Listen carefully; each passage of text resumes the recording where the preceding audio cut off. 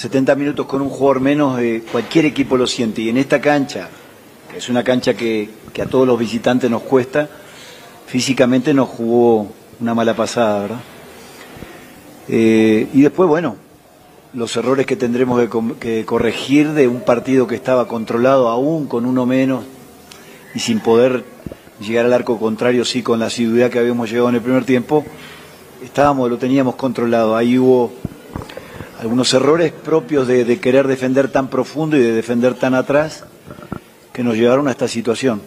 Eh, todo ese aprendizaje, siempre digo, ese aprendizaje hoy, hoy perdimos un partido y después ganamos la clasificación este, lo cual por un lado a mí me, me deja mucho para, para mejorar y por el otro, bueno, la esperanza de seguir avanzando en esta Copa. Hola, buenas noches. Eh, creo que la pregunta la, la terminó respondiendo el profe. Eh, cuesta venir a, jugar a esta cancha, eh, como decía el profe, 70, 75 minutos con un hombre menos. se hace muy difícil, creo que el equipo se estaba defendiendo bastante bien en el segundo tiempo, cuando podíamos atacábamos y atacábamos claros, pero, pero bueno, llega un momento que, con tanta gente de ellos en ataque nos hace replegar mucho, pero, pero bueno, eh, costó, sufrimos, pero, pero bueno, nos llevamos el objetivo que, es la clasificación. De aprendizaje mucho, mucho, mucho. Eh,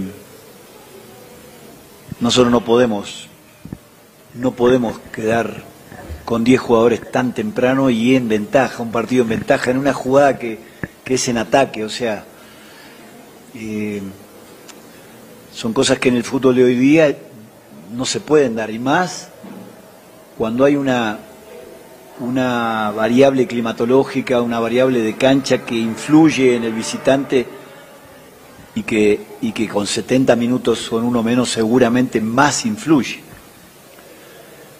Eso es aprendizaje primero, bueno, tenemos que ver cómo quedamos con uno menos, tratar de evitar quedar con uno menos. Eh, y después, yo digo, no estábamos sufriéndolo el partido, o sea, lo sufrimos a raíz del segundo gol de ellos, que nos rebalamos en el área, nos rebalamos en el área y quedamos, queda solo prácticamente el jugador de ellos, hasta se sorprende y, ahí sí lo sufrimos los últimos minutos hasta que también una pelota que no nos rematan al arco, que es un centro, termina metiéndose sola. O sea, todas cosas que, que uno las, las cuenta y dice, pero ¿cómo puede pasar? Sí pasa. Esto es un juego en el cual te pasa todo o no te pasa nada.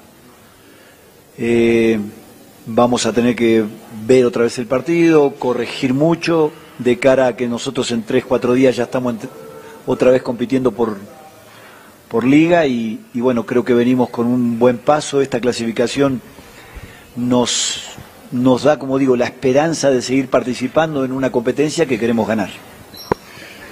Bueno, buenas noches otra vez. Eh, la idea es cuando me toca entrar, tratar de, seguir atacando cuando, cuando se podía, cuando recuperábamos. Sabíamos que podía llegar a quedar un poco de espacio porque, como dije antes, el equipo de ellos se tiró al ataque con mucha gente, entonces había, había espacio.